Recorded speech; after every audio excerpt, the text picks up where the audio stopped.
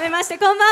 モーニング娘。24石田由美です。ちなみにこの1曲目歌わせていただいた「ときめくときめけは」あのー、福村瑞希さんが卒業前にメンバーにこの曲を送りますっていうので1曲あげてくださるっていうインタビューがあったんですけどそれで福村さんは私に「ときめくときめけ」をねなんかいいって言ってくださったのでもうフルで歌おうと思って。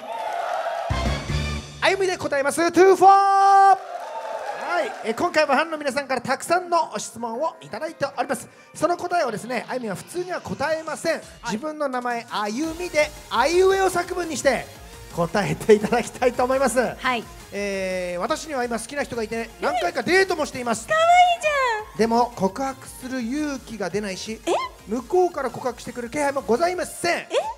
私から勇気を出して告白するべきですかそれとも相手からの告告白を待つべきですか？歩みのあ。愛というものは？歩みのゆ。ゆ。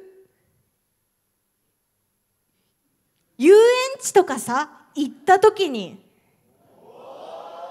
歩みのみ